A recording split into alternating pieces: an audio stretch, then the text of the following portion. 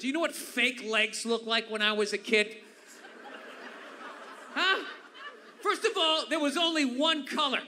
It was like band-aid color, and everybody knew you had a fake leg, and you were fucking walking down the street. I mean, oh, he's got a fake leg. What do you think happened? Motorcycle accident.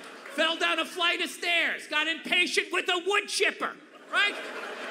Everybody knew you had a fake leg.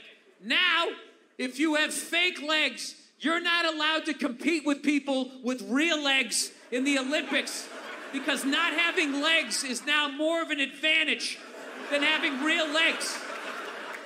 Doctors make better legs than God. All right, your calves and your feet flopping around are no match for a couple of sickles. These people just skiing down the fucking street.